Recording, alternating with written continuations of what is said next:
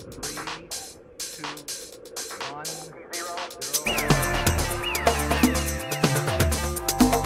Uno, dos, tres,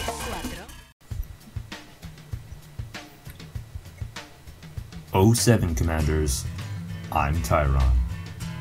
Odyssey has been out for about a week and has been my primary focus. As a result, I wanted to deliver some of my initial thoughts by offering you a tip towards accessing a form of night vision on your Maverick and flight suit. The problem. Within the Odyssey's current alpha, the flashlight is serviceable in close quarters, especially within buildings. However, it's limited in its depth and scope while at range. This makes it difficult to locate structures at a distance in low to no light situations like those of the powerless settlements.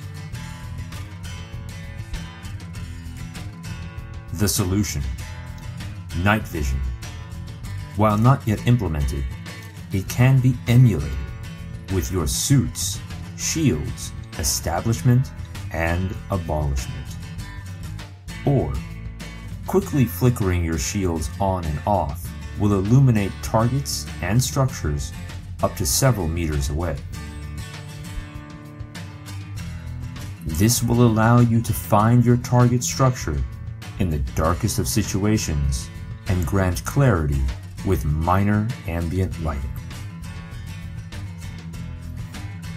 Pro tip In many settlements, power plants are roofed with a dome like structure that is easily detected with this pseudo night vision.